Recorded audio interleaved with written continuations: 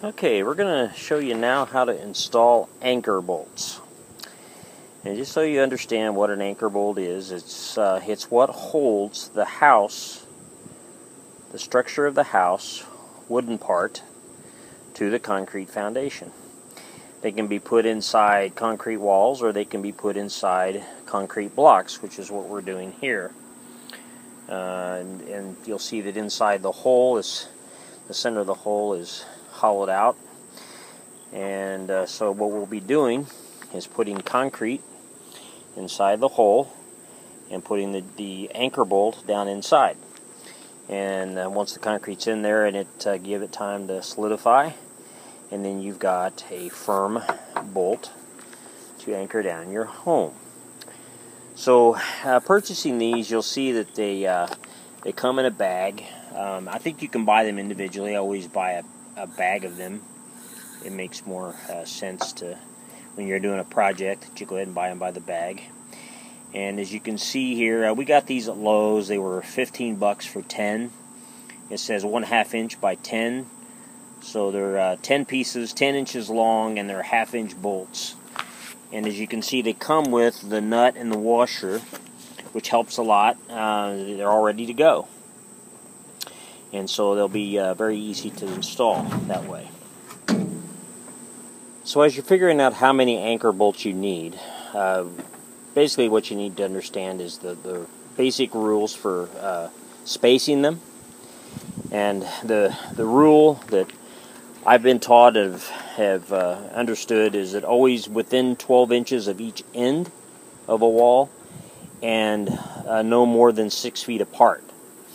And so like here we have a short span, we have a crawl space door, and then the rest of the span. This total span is is 16 feet.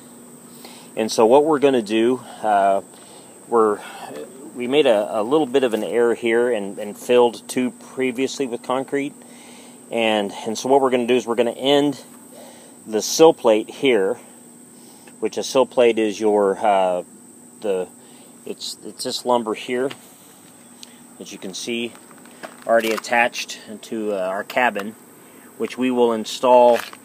Uh, it's uh, this is a before we had the idea of putting a block foundation, and now that we're going to build onto this and install a block foundation, you put the sill plate down uh, before you construct. You construct on top of it, and so uh, this here is 16 foot span. We got this crawl space door. So we're going to put, uh, we're going to end our sill here, the sill plate, which is your, uh, in this case will be a 2x8 treated. You want to use treated because it's close to masonry, it's close to the ground, it can receive um, uh, moisture. And so uh, you want to treat it so it won't rot out. So what we're going to do is, since we're going to end it here, um, you got about 8 inches to the center, so the 12 inches is going to, it's going to be fine to put your uh, anchor bolt here so we're going to put our first one here, and since this is an end, we're going to put one here. And then same here, we got uh, one here at the very end. We got one down there at the very end. And then we're going to put one in the middle. Since it's more than six feet from, from end to end, for stability purpose, since the rule is is, is no no uh, no more than six feet apart, and then you want to put uh, one in the middle for stability. So that's what we're going to focus on right now is getting our concrete mixed up and getting these anchor bolts installed. Okay, Linda the builder has mixed up some Quikrete and what we've used is just your regular old Sakrete or you get the Quikrete brand. This is Lowe's Sakrete. 80 pounds, 80 pound bag and and uh, it's the high strength. It's perfect for this. I'm trying to remember what the PSI is. I think it's 4,000. Yeah, here it says 4,000 PSI. So that's that's great for your foundation. You got your concrete blocks as your stability. And so she's going to put this down. So you got two levels of blocks. You're filling up. And you kind of need to shake it down in there. Once you get it down in, you can use a J-bolt to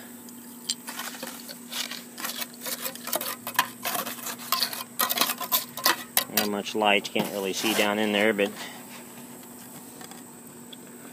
Once she gets that filled up, she'll level it off, kind of like we did this one here, and get ready for a J-bolt. She's nearing the top here. Get that all filled in. Notice she's got a, a glove that's kind of uh, rubber coated on one side. Those are great. They're cheap. You can buy them in three packs or whatever. And I think these we got like for three for like four dollars or something like that and uh, you can find them all over the place Walmart, Menards, Lowe's, Home Depot. I think we have a place called Harbor Freight.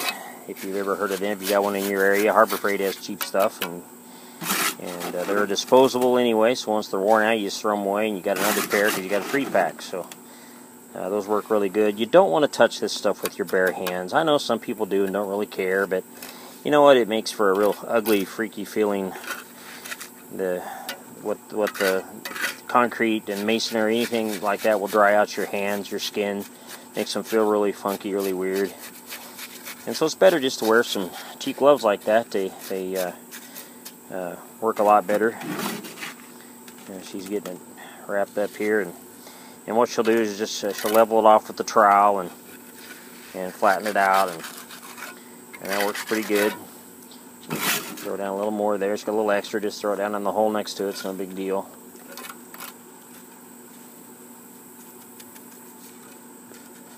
She does good work.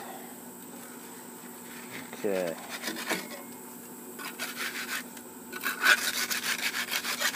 So that works really nice. So she uses the trowel, just flattens it out. So now she can take J-bolt and uh, stick it right down in the center. And what we use is just a, we grabbed another uh, 2 by lumber. This is a chunk of 2 by 8 that it's going to be exactly like what we used before. And as you can see here, we dialed this down about halfway. So if you see where the threads are, you can, uh, where the washer is there, I'm sorry, you see where the threads are, we dial this down where the top of it's about halfway down. And that way you just push it down to the washer where the washer is uh, against your, your nut and you push it down till it's there. And you're just going to have to wiggle it in there and then drive it down with the, the board.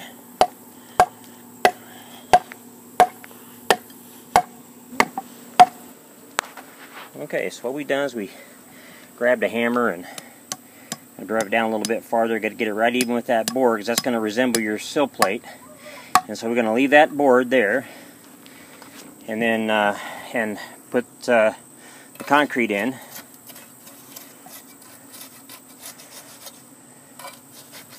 Just kind of got to pack it in there. Keeps your bolts up straight.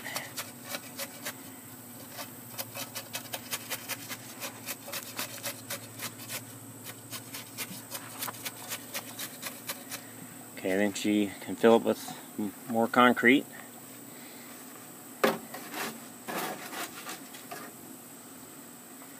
the little uh, measurement board we call it or pattern board used to help get your depth for your bolt. Is perfect.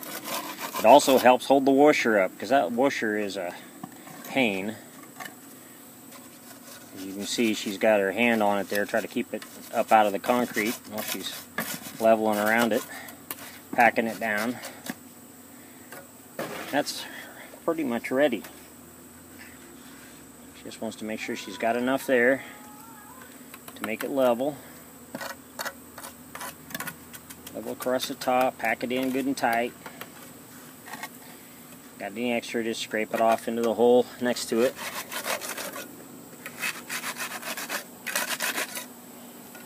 And what we're going to do on the next batch of concrete, we're going to make it a little wetter. We're going to add a little more water to it, and that'll uh, help the J-bolt, not J-bolt, forgive me that that's a an old error that uh, I heard from somebody else. It's it's kind of a habit. It's hard to um, quit calling them J bolts. They're not J bolts. They're anchor bolts.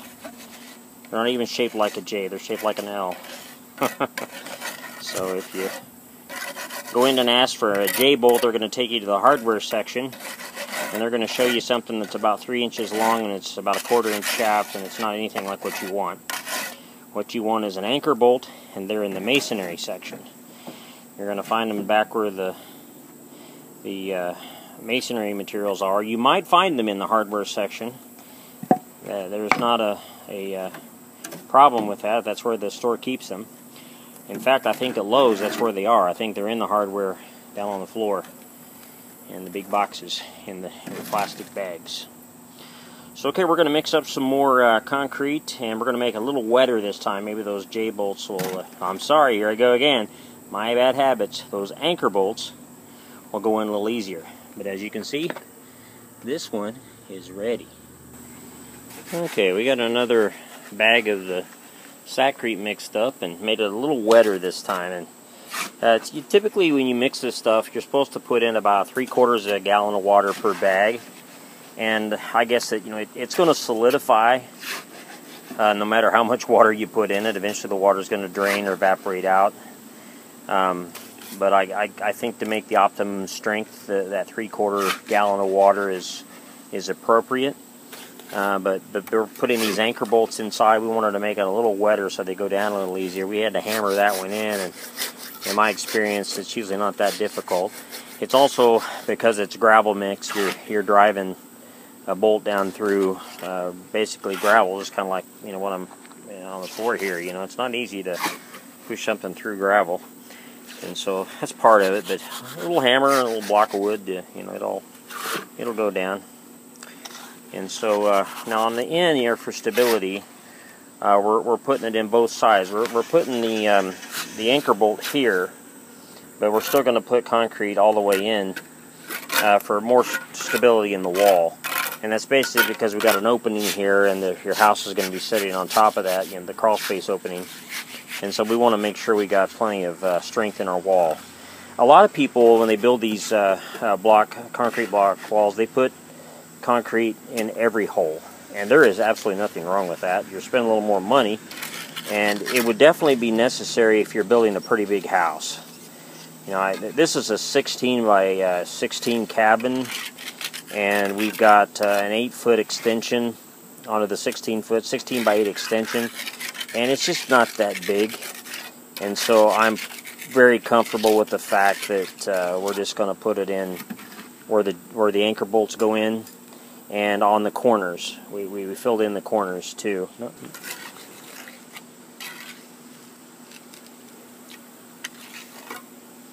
So she's got that one leveled off and uh, going to leave that one full and we're going to fill this one in and put the anchor bolt.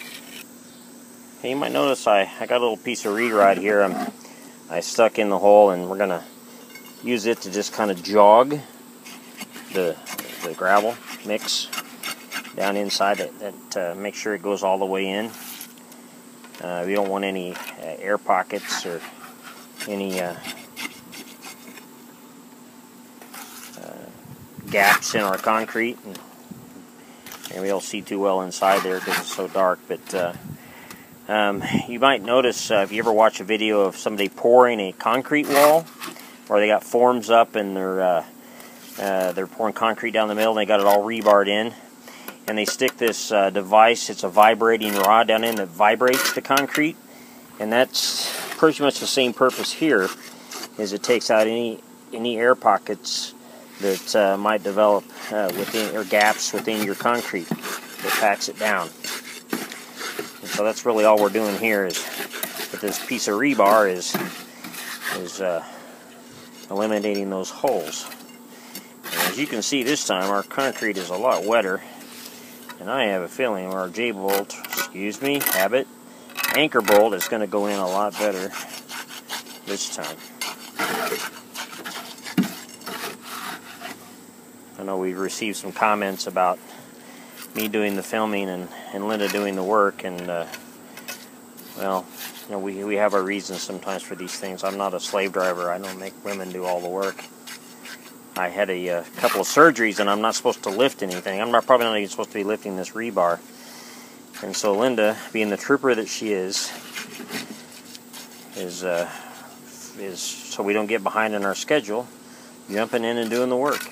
And can't tell her no. She's strong-willed. Okay. All right. So looks like we got that one ready for the anchor bolt.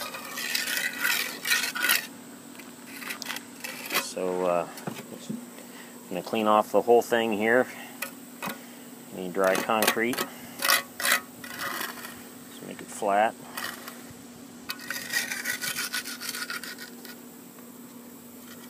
And uh, ready to set set the uh, pattern board down here for our depth. I'm going to lay it right across. See this time if that uh, doesn't, uh, excuse me, anchor bolt. If I don't ever get that right, you guys are just going to have to realize that nobody's perfect. I only say things correctly. This isn't a a edited TV production. We're just uh, making a little YouTube video to help people out. So it looks like, see how nice that went down in? And smooth. She laid that in there perfect. We'll trowel out, level it off. Got it in there perfectly straight and level. Absolutely.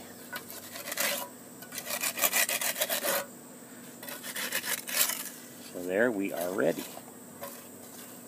Fantastic.